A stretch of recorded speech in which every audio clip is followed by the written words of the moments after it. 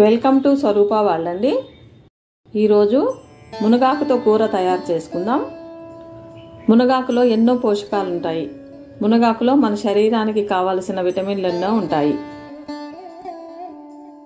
ముందుగా మునగాకు శుభ్రంగా కడిగి కాడలు తీసి ఆకును రెడీ చేసుకోవాలి.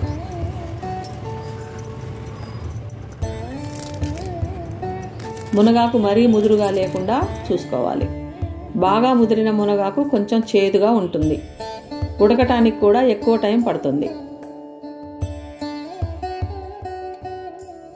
మునగాకు కూరకు కావలసిన పదార్థాలు చూద్దాం. ఎల్లిపాయలు పచ్చిమిర్చి ముక్కలు ఉల్లిగడ్డ ముక్కలు కరివేపాకు పల్లీలు ఎండుమిర్చి కొంచెం వేపి రెడీ చేసుకుందాం. వాటిలో కొన్ని ఎల్లిపాయలు వేసి గ్రైండ్ చేసుకుందాం.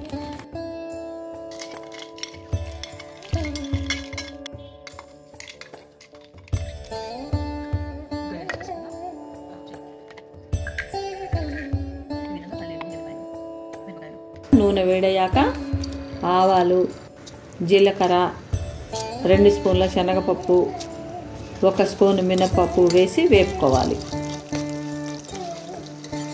కొంచెం వేగాక ఉల్లిగడ్డ ముక్కలు పచ్చిమిర్చి ముక్కలు ఎండుమిర్చి కరివేపాకు ఇవన్నీ త్వరగా వేగడానికి కొద్దిగా ఉప్పు పసుపు వేసి కలిపి వేగిన తర్వాత రెడీ చేసి పెట్టుకున్న మునగాకు వేసి బాగా కలిపి మూత పెట్టి రెండు నిమిషాలు సిమ్ములో ఉడకనివ్వాలి.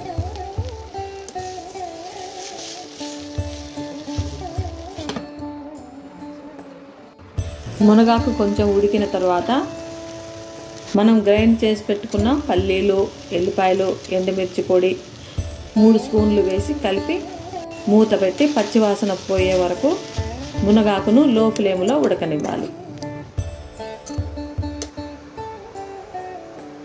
పల్లీలు ఎల్లిపాయ పొడి వేసుకొని చేసుకున్నాం. ఈ కూర చాలా రుచిగా కూడా ఉంటుంది. మునగాకు కూర రెడీ. మునగాకు కూర బౌలులో వేసి వట్టి కూరను కూడా తినొచ్చు. బ్లడ్ తక్కువ ఉన్నవాళ్ళు మునగాకుతో తయారు చేసిన వంటలు తింటే ఎంతో ఆరోగ్యంగా ఉండొచ్చు.